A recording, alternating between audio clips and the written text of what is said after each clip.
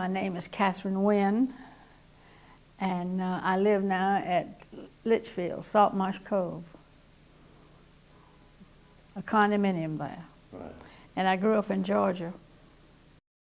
I heard about Pearl Harbor. I was out walking with my mother that sun, Sunday afternoon. That's all I remember. And uh, I was still in college. I went two years to junior college. And then I went to Macon, Georgia, and had a, um, a defense job there at a big air depot called uh, Warner Robins. Have you ever heard of it? It was a huge thing. And we had to work three shifts. That was the, that was the bad thing about it. I was there about a year and a half. And uh, my mother heard Colonel Ruth Cheney Streeter speak on the radio. She was the head of the Women Marines, and she was at Hunter College, and she was recruiting uh, women then. And so she said, I, why don't you join the Marine Corps? I never thought about going to the service. So uh, since I, the defense job was, that, at that time, you know, everything was crowded. Everybody was in the, in the war effort. I talked a friend into going with me, and she backed out. And that was it. That was in Macon, Georgia.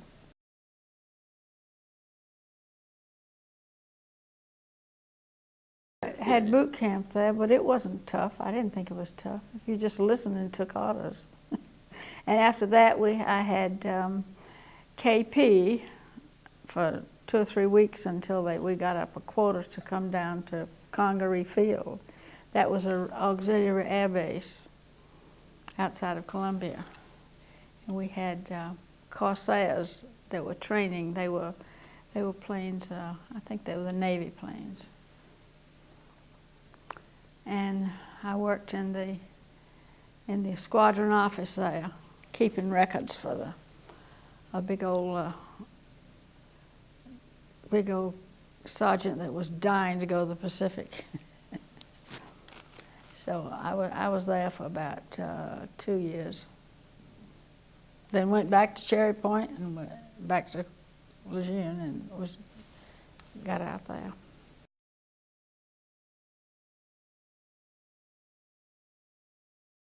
Office work, office work.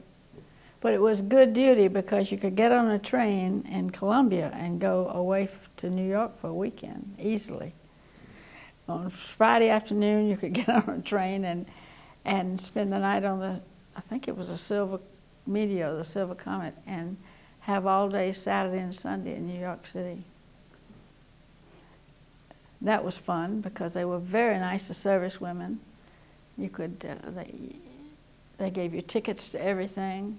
Uh, they treated you well, very well. Then we'd come back Sunday night, sleep all night on the train. We went to shows and we shopped. And we went to see the girls that lived around New York City.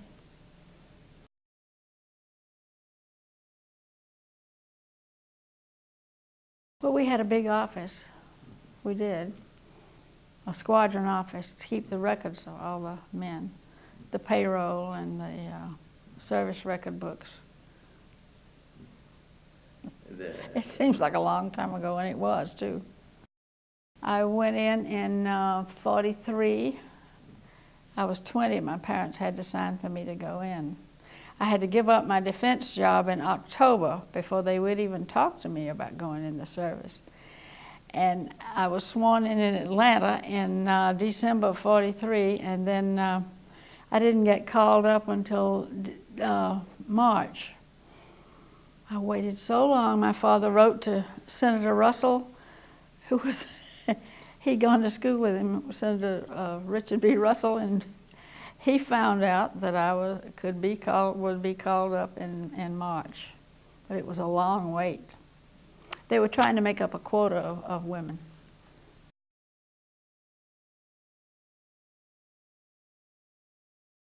Very rustic. we, we had a potbelly stove in the, in the uh, barracks and uh, there must have been a dozen girls in that particular one. And uh, I always had an upper bunk instead of a lower. I think it had been a, a camp for the CCC camp, you know. I think that's what it had been, and we went in and used it. The food wasn't very good. I remember that. But at Camp Lejeune, we had all women cooks in that section we were in. The food was wonderful, but the food was, I don't remember the food being very good. We were glad to get into Columbia and eat in that.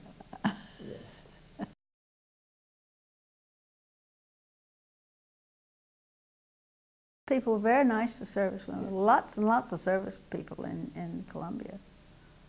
I met my husband before I went in. He was in, um, I met him in Macon. He was in uh, at a USO dance, and then he went to India for two years. We weren't married, but he went. He had a long duty in India. He was a draftee.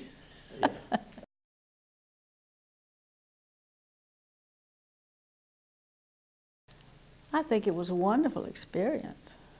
It was my mother's idea that I try it, and uh, it was. I was a day student at college, you know, stayed home and I was a day. So she said, "I think it'll do you good," and I I liked it. Made some good friends. I wouldn't have taken anything for it. There you go. Most girls that I talk to say the same thing. The ones that I meet around here.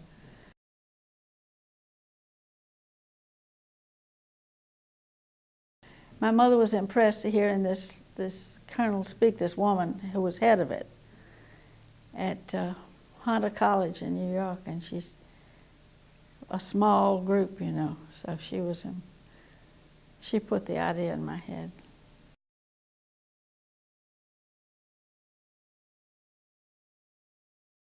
But I married a, a, a Yankee and went to Massachusetts, and that was a bit of a distraction.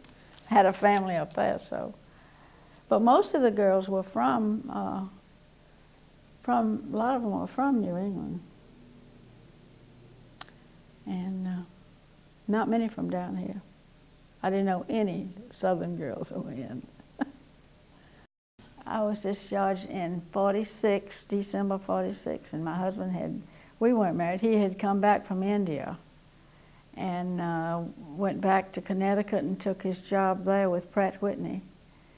And we decided to get married. We moved to Connecticut and uh, lived there for six months. And then we, we went up to um, Cambridge, and my husband became tennis and squash pro at Harvard.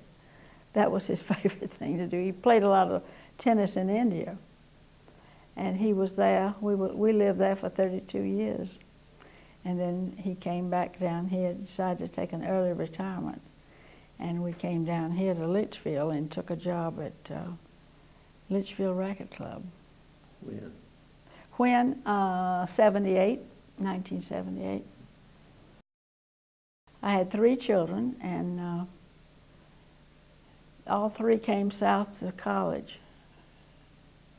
One's in in Brevard, North Carolina, one's in Litchfield, one's still in Massachusetts. Would love to be down here.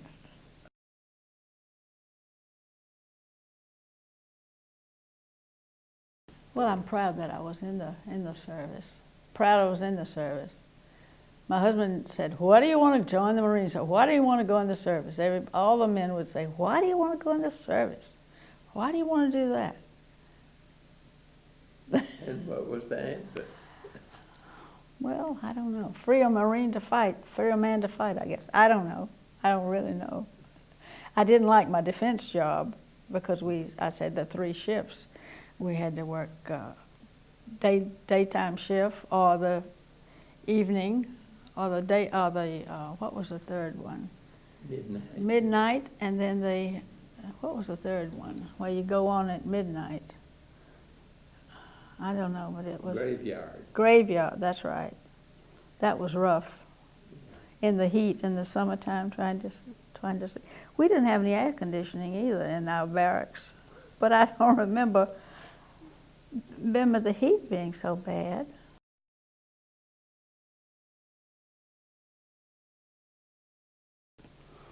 Well, we went up to, um, maybe Betty told you, we went up one day to the uh, 65th, I believe it was 65th anniversary of the women Marines. We went up to, for the day to, uh, to Camp Lejeune.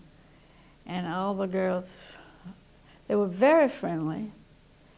And uh, I wouldn't want my daughter to go in now, I don't think. Uh, well, she wouldn't do it anyway, would she? But they were nice, nice girls. Most of them had been to Iraq and back. A lot of them had families, some had children, but they were nice, mature girls. I don't think they should go into combat. I have a nephew who's who's graduating this uh, this uh, weekend uh, as a uh, down at Fort Benning, and uh, he just graduated from Presbyterian College a year ago and enlisted, and he's uh, going to be a ranger. That's the really elite, roughest one of all. But he's he's gone through that. I'm, I hope to go down to his graduation. He's 22. Was I glad to get back south? Yes, I was. I was ready. My husband wanted to go come back down here so he could play tennis all the time and teach.